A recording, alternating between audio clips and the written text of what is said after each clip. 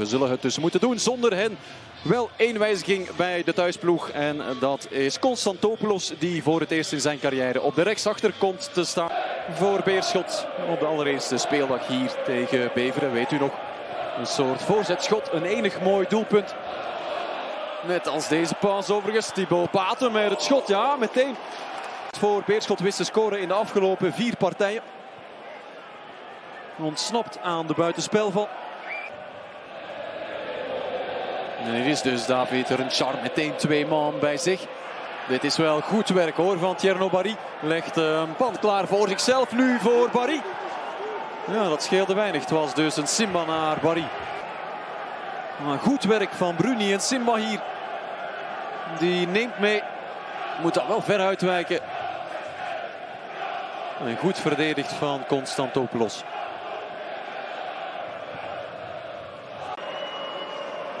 David Renchar te gaan worden. Daar komt hij. De bal via Bateau Verstraten uiteindelijk. Everton, Bateau goed gezien en goed uitgevoerd.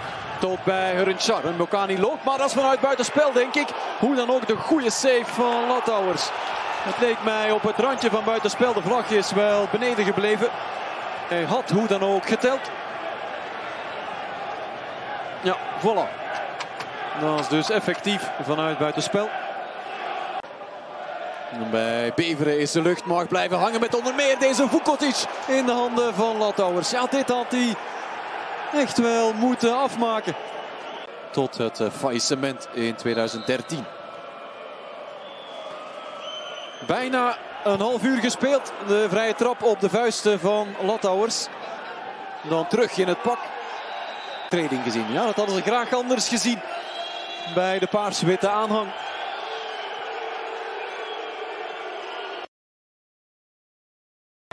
Vijftig minuten ver, de snelle hoekschop bij Beerschot.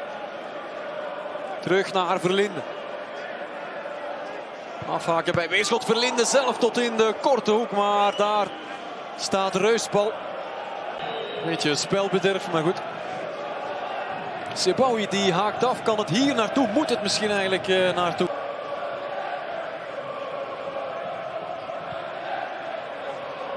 De voorzet.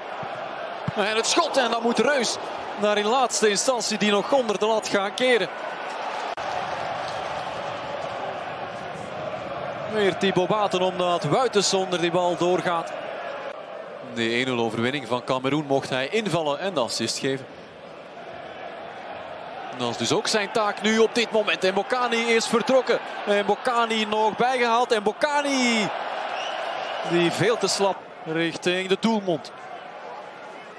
Het slotkwartier bijna aangebroken. Van den Berg, ook hij zoeken naar de opening. En dan is er de parade van Reus. Thibaut Baten dan in tweede instantie. Maar voor de lijn gekeerd. Wat een opschudding. Wat een kans voor Beerschot. Dit lijkt me net geen buitenspel. En dan is het misschien Baten die... Denk ik nog een voetje buitenspel zou staan. Ook niet op deze hoekschop. Matthis plukt hem uit de lucht. Gaat hem voor de doelmond gooien. De kopbal is er van Van den Berg. Maar uh, dak van het doel.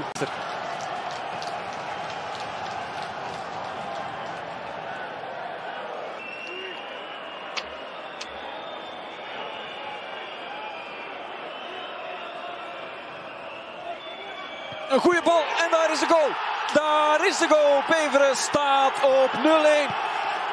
Het is Alexander Vukotic die het dan toch nog doet. Oh, wat zal dit zuur aanvoelen hier op kiel bij Beerschot. Maar Beveren doet een gouden zaak. Klimt op voorsprong. Op drie minuten van het einde is het Alexander Vukotic. En Alexander Vukotic. Zijn laatste doelpunt dateert van 20 februari 2021 en is dit dan opnieuw een heel erg belangrijke. Het zal wel zijn.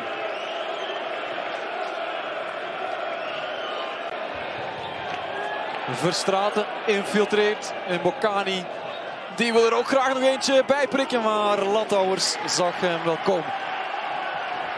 Tegen RWDM met het kleinste verschil. En nu na een fel bevochten match pakt Beveren de drie punten mee richting Oost-Vlaanderen. Het zit erop 0-1 En hij